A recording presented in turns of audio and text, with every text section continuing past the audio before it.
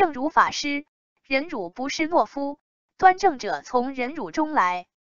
小伙子要去省外读大学，爷爷奶奶就千嘱咐万交代，出外一定要忍让，觉得忍可以保平安。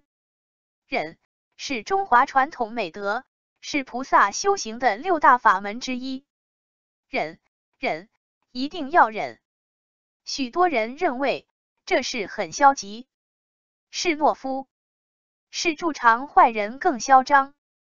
佛教中也讲勇猛、破恶、降魔，也有全副武装的四大金刚，但是还是要宣讲忍的意义，宣扬非暴力精神，提倡以德报怨的思想，尽量以教育感化为方便，不忍伤害众生。更认为忍是一种智慧，是将者的修为，不是懦夫。破恶降魔，这好比汽车的油门，相当于汽车的动力系统。汽车光有动力系统是不行的，还必须要有刹车的制动系统。忍辱、忍让，这就是刹车，就是制动系统。佛法也好比一部车，有动力系统。也有制动系统，佛法的言语叫圆融无碍。这里讲制动系统，不要以为佛法就不讲动力系统。忍也好，勇猛也好，都是利益众生而言。忍对众生有利，那就要忍；勇猛对众生有益，那就勇猛。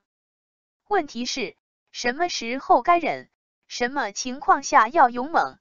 一般凡夫是很难拿捏，莫有这个判断能力，唯有诸佛菩萨才能运用自如。为何要忍？在佛看来，一切众生都是兄弟姐妹，都是我们过去的父母，都是未来诸佛，都是一家人，所以大家要彼此忍让。好比一个家庭，父母总希望兄弟姐妹们互相忍让，和睦相处。比如一个村庄，上千户人家都姓黄，王祖先当然希望子孙们相互谦让，和顺快乐。也好比一个国家，总统也希望国民相忍为国，不可能鼓励大家以牙还牙，天天来打架。站的高度不同，说的话也有不同。忍不是要你忍，叫他就不要忍，而是要大家都要忍。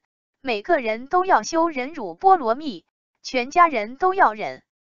忍是对所有的人讲的，不是专门对你讲的。这是宣扬忍的真实意义。忍，忍耐，每个人都要学习忍耐，在学习和工作当中都要有忍耐精神。忍，忍让，在家庭、在公司，大家都需要学习吧。忍，也是一种包容。为人处事，每个人都要有包容的胸怀。忍就是淡定，沉得住气，不要冲动，不要暴躁，要控管好自己的情绪，这个也很重要。忍也是手法，比如见到他人的钞票，你不能去抢，要忍住。见绿灯开车，见红灯停车，这个也要忍。忍。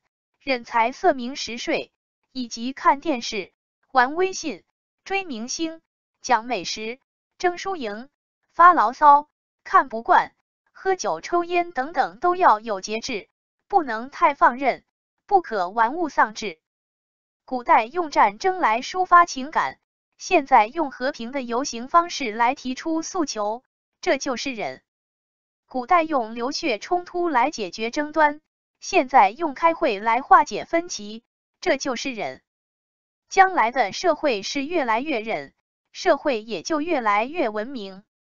在文明的社会，忍辱不再是懦夫，不再是助长坏人更胡来，而是一种修养，一种文明的表现，能消弭敌意恶化的作为，是和谐社会必不可少的重要色彩。我们凡夫俗子的忍辱。是比较勉强，其中甚至非常痛苦。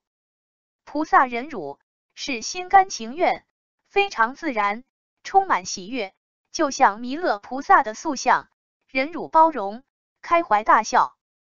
反顾集中讲到，端正者忍辱中来。为什么他的相貌这般端正美丽？原来是修忍辱中来。想相貌漂亮的朋友，一定要修学忍辱，忍辱是最好的美容。歌颂她的容貌是那样的美丽、端庄与高贵。